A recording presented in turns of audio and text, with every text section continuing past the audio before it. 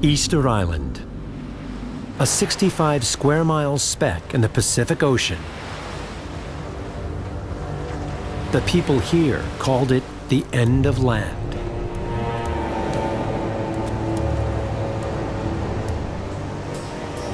They built a new society and devoted themselves to carving massive monuments called moai. Giant heads and torsos three stories high. But centuries ago, it changed. The great stone cutters vanished, and the civilization collapsed. Now, the island and its iconic statues risk being lost forever.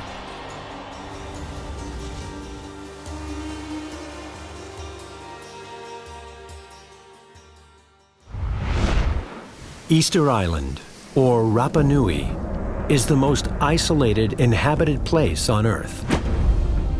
1,200 miles to the west are the tiny Pitcairn Islands. 2,400 miles to the east is the coastline of South America. Yet for the people who discovered and populated this island, such vast distances may have easily been crossed.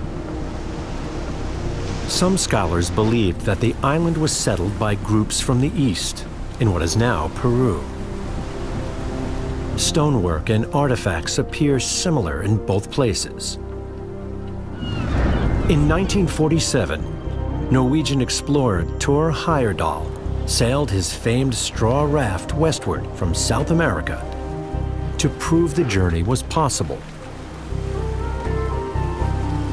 He traveled over 4,300 miles, but still did not convince skeptics.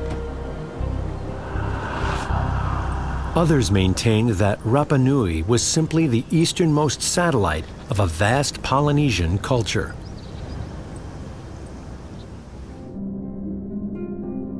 But bones don't lie.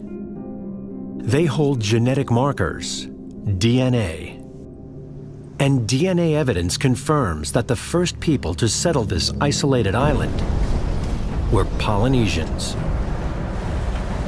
Early Polynesians were among the greatest seafaring cultures in human history. The wind, waves, and sky were their only guides. Yet they colonized the atolls of the South Pacific thousands of years before Columbus sailed to the New World. Beginning in Taiwan, they reached the Philippines by the 4th millennia BC. From there, they continued eastward across the sea. One third of the surface of the planet is occupied by the Pacific Ocean. And they developed, you know, the technology, the craft, to be able to cross these large expanses of ocean looking for land and it was ingrained in their own socio-political and religious structure to do so. Radiocarbon dating from early construction suggests they reached Rapa Nui somewhere between 500 and 1000 AD. What probably began as a single landing party grew over the generations into a number of large hereditary clans. Up to 20,000 people may have lived here at the civilization's peak.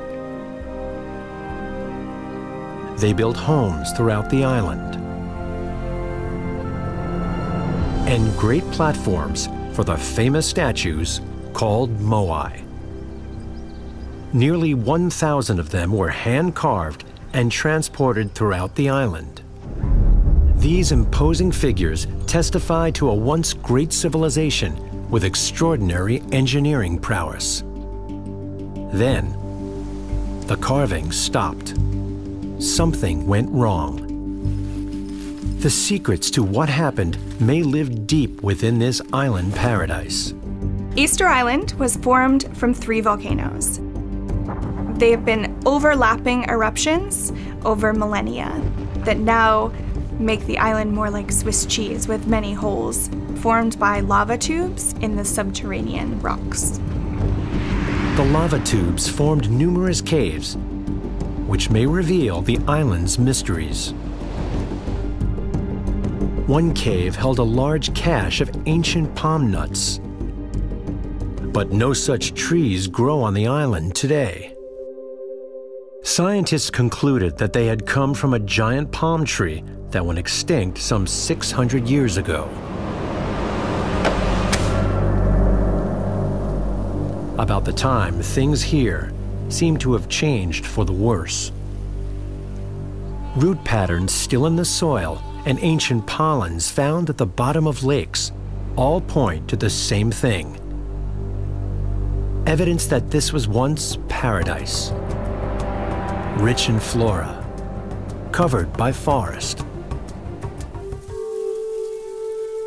The findings reveal a dramatic change as the island was deforested